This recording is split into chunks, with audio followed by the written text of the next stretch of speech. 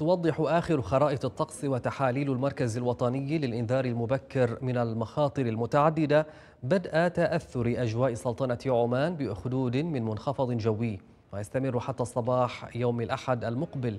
ومن المتوقع استمرار تدفق وتشكل السحب على محافظات مسندم والبريمي وشمال الباطنة مع فرص لهطول أمطار رعدية متفاوتة الغزارة مصحوبة برياح نشطة وتساقط لحبات البرد وتمتد تدريجيا لتشمل محافظات جنوب الباطنة والظاهرة والداخلية ومسقط وشمال الشرقية وجنوبها على أن تكون ذروة التأثير يوم الجمعة.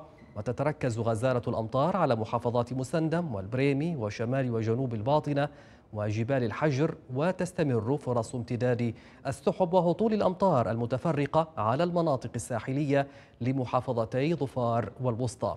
وتبلغ كمية الأمطار المحتمل هطولها من 20 إلى 80 ملم مصحوبة بتساقط لحبات البرد وجريان الأودية والشعاب. وتبلغ سرعة الرياح ما بين 15 عقدة إلى 30 مع ارتفاع لموج البحر إلى مترين على السواحل الغربية لمحافظة مستندم وسواحل بحر عمان أثناء تأثير السحب الرعدية.